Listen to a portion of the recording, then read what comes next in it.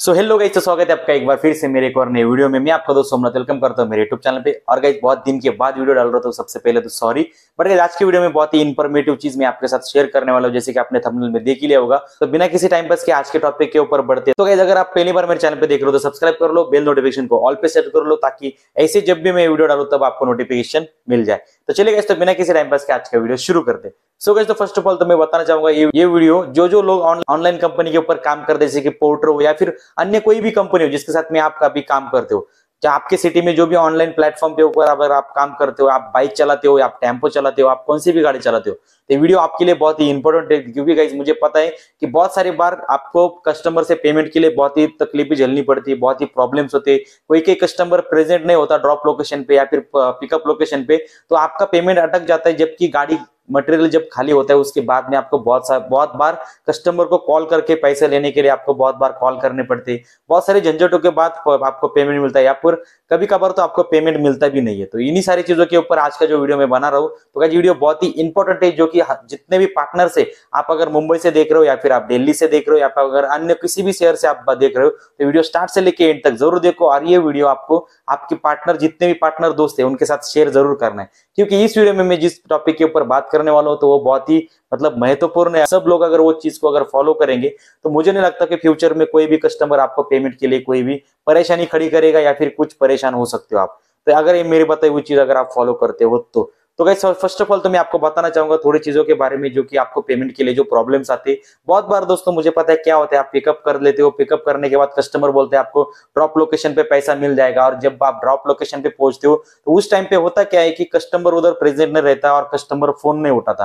तो आपके पास एक ही ऑप्शन रहता है, गाड़ी खाली करे और कस्टमर को बार बार कॉल करते रहे। तो गाइज़ मुझे पता है, इसमें बहुत बहुत ही झंझट है, बहुत ही मगजमारी होती है। तो इसके लिए मैं एक ऑप्शन बताना चाहूँगा जिसके जिसके तहत आप कस्टमर से पेमेंट निकालोगे और उसके बाद ही मटेरियल खाली करोगे। कुछ रूल्स है जो आपको फॉलो करने रूल्स मतलब अपने खुद के कुछ रूल्स बनाओ, जो कि पार्टनर लोग जैसे किसी कंपनियाँ अपने प्लेटफॉर्म के लिए रूल्स बनाती है ना तो मैं चाहता हूँ कि हम पार्टनर लोग भी अपने खुद के लिए कुछ रूल्स बनाए। उन रूल्स के तहत अगर हम लोग चले तो मुझे नहीं लगता कि हमको किसी कस्टमर से पेमेंट के लिए कुछ झिकझिक करनी पड़ेगी या फिर बहुत ज़्यादा कुछ प्रॉब्लम्स होगी। फ़र्स्ट ऑफ़ ऑल तो गाइज़ मैं आपको बताना चाहता हूँ, जैसे कि मैंने आपको बताया पिकअप लोकेशन पे जाने के बाद कस्टमर बोलते हैं, आपको पैसे ड्रॉप लोकेशन पे मिलेगी। ड्रॉप लोकेशन पे जाने के बाद जो कॉन्टेक्ट पर्सन रहता है, वो बोलता है कि मैं आपको बाद में करता हूँ, या फिर आपको आधे घंटे के बाद मिल जाएगा। मेरा नेटवर्क एरर आ रहा है, मेरा ये प्रॉब्लम है, वो प्रॉब्लम है। सो so गाइज़ तो मुझे पता है, बहुत सारे लोगों ने ये प्रॉब्लम झेला भी होगा, और आप लोग मुझे कमेंट करके बताओ कि किस किस के साथ में ये प्रॉब्लम्स आई है। बहुत सारे ऐसे नए लोग हैं जिनको पता नहीं है कि कस्टमर से पेमेंट कब लेना है और कब पेमेंट उनसे कलेक्ट करना है। सो गाइस मैं आपको बता दूँ पोर्टर के और जो भी ऑनलाइन कंपनी है, उनके रूल के हिसाब से आप ट्रिप जब कंप्लीट होती है, तब आप पेमेंट कलेक्ट कर लो कस्टमर से। क्योंकि गाइस जब आप पिकअप कर लेते हो, मान लो ड्रॉप लोकेशन पे आपको अगर एक दो घंटा लगा तो आपका वेटिंग चार्ज भी बढ़ जाएगा। उसके तहत वो फिर फिर ऐड होके आता है। उसके बाद आप पेमेंट कलेक्ट करना आपके लिए अच्छा होता है। बट गाइज़ मैं आपको बताना चाहूँगा, हर बार का ट्रिप ऐसा नहीं है जिसमें आपको वेटिंग चार्ज ऐड होके आने वाला है या फिर कुछ एक्स्ट्रा कुछ लगने वाला है। तो गाइज़ मैं आपको बताना चाहूँगा कि आपको आइडेंटिफाई करना है कि कौन सा ट्रिप कैसा है। मतलब अगर आपने किसी कस्टमर का पिकअप किया तो आपको अंदाज़ा लगाना है कि कस्टमर का मटेरियल कौन सा है या फिर जो कस्टमर उसे आप पूछो कि भाई, मेरे को ड्रॉप लोकेशन पे टाइम लगेगा या फिर नहीं है। क्योंकि ये बात पूछने के बाद अगर कस्टमर बोलता है कि मटेरियल पाँच मिनट में खाली हो जाएगा या फिर दस मिनट में खाली हो जाएगा, और अगर आपको लगता है कि ये कस्टमर ड्रॉप लोकेशन पे भी प्रेजेंट नहीं है, कई बार मुझे पता है पिकअप लोकेशन वाला तो उसका third party third party party रहता है, और सेकंड जो ड्रॉप लोकेशन रहता है, उसके ऊपर भी थर्ड पार्टी पर्सन रहता है। तो उस टाइम पे क्या होता है कि आपको पेमेंट किधर से कलेक्ट कर लेना है, उस, वो बहुत बड़ा आपके सामने सवाल खड़ा हो जाता है। तो कस्टमर को पूछ लो, या तो किधर से आप देने वाले, आप पे करने वाले हो, या फिर मुझे दूसरे किसी से कलेक्ट करना है।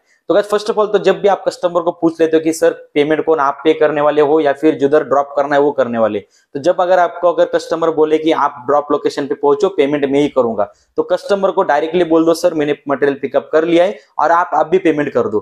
गाइज़ मैं बता दू, ये आपको कब करना है? जो मटेरियल आपने पिक किया है, वो अगर आपको 10 मिनट में ड्रॉप लोकेशन पे खाली होने वाला है तो कस्टमर को डायरेक्ट बोल दीजिए कि, सर, आप अपना जो पेमेंट है, जो अमाउंट दिखा है आपको एप्लीकेशन पे वो आप मुझे अभी से गूगल पे कर दो। मैं जाके ड्रॉप लोकेशन पे आपको जब भी मटेरियल खाली हो जाएगा, मैं आपको कॉल करके बता दूँगा। क्योंकि गाइस क्या होता है ना, जब भी आप ड्रॉप लोकेशन पे जाते हो तो तब मटेरियल जब आप खाली करने के बाद अगर आप कस्टमर को कॉल करते हो तो कई बार कस्टमर का कॉल नहीं लगता है। इसी का ही गलत फ़ायदा लेके कस्टमर आपका पेमेंट लटका देते क्योंकि कस्टमर को जब गाड़ी आपका खाली हो जाए तो कस्टमर को लेना देना नहीं होता, क्योंकि जब तक उसका मटेरियल आपके गाड़ी में है, तब तक तो उसकी मजबूरी हो जाती है कि मटेरियल जब तक आपके पास है, तब तक। जब मटेरियल उतर जाए तो कस्टमर की नहीं, आपकी मजबूरी हो जाती है कि पेमेंट आपका अटका हुआ रहता है। तो इसके लिए मैं आपको बोलता हूँ कि जब भी कस्टमर आपका मटेरियल लोड करे तो कस्टमर का देखो मटेरियल पाँच मिनट में खाली होगा या फिर दस मिनट में। और कस्टमर को बोलो कि, सर, हमारी एक नई पॉलिसी एक पे फ़र्स्ट पॉलिसी तो मैं चाहता हूँ कि सारे पार्टनर जितने भी अदर सिटी से मुझे देख रहे तो उनको सबको एक बताना चाहूँगा कि आप लोग अभी से एक शुरू करो, एक रूल चालू करो, जो भी कस्टमर है, अगर आप भाड़ा मार रहे हो तो उससे पहले पेमेंट कलेक्ट कर लो। मैं बता रहा हूँ कि अगर कोई कस्टमर पिकअप लोकेशन पे भी नहीं है और ड्रॉप लोकेशन पे भी नहीं है तो आप वो कस्टमर को डायरेक्टली बोल दो कि पे फ़र्स्ट पॉलिसी के तहत आपको पेमेंट पहले करना पड़ेगा। आपका मटेरियल उतर जाने के बाद मैं आपको कंफर्मेशन दे दूँगा। हम सारे पार्टनर अगर मिलकर अगर ये रूल फॉलो करें ना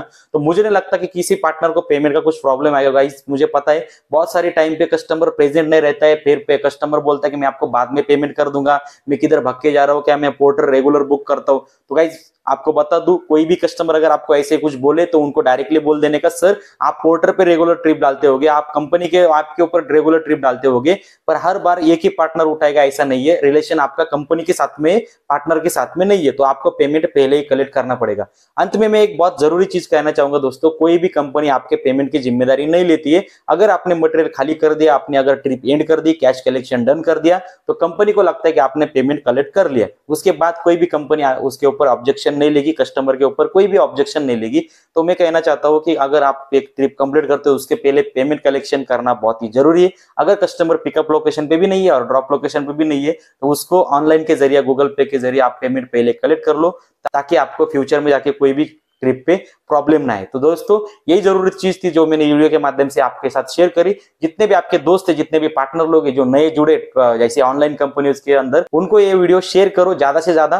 और गाइस जितने भी आपके व्हाट्सएप ग्रुप है, उसमें भी डाल दो ताकि सबको पता चले कि हम ड्राइवर लोगों ने मिलकर पे फ़र्स्ट पॉलिसी चालू कर दी है। तो ये सबको फॉलो करना ही है। ये रूल कोई भी कंपनी ऑब्जेक्शन आपके ऊपर नहीं ले सकती ये हमारे पार्टनर लोगों का डिसीज़न है। कि हम लोग पे फ़र्स्ट पॉलिसी चालू करें। और गाइस सारे जन मुझे एक बार कमेंट में जाके लिख भी सकते हो। सब जन अपने व्हाट्सएप ग्रुप में सबको अलर्ट कर दो कि पे फ़र्स्ट पॉलिसी हम पार्टनर लोगों ने चालू कर दी। तो मुझे भी बहुत अच्छा लगेगा कि अगर आप ये चीज़ें अगर फॉलो करोगे, कोई भी कस्टमर हमको पेमेंट के लिए प्रॉब्लम नहीं करेगा।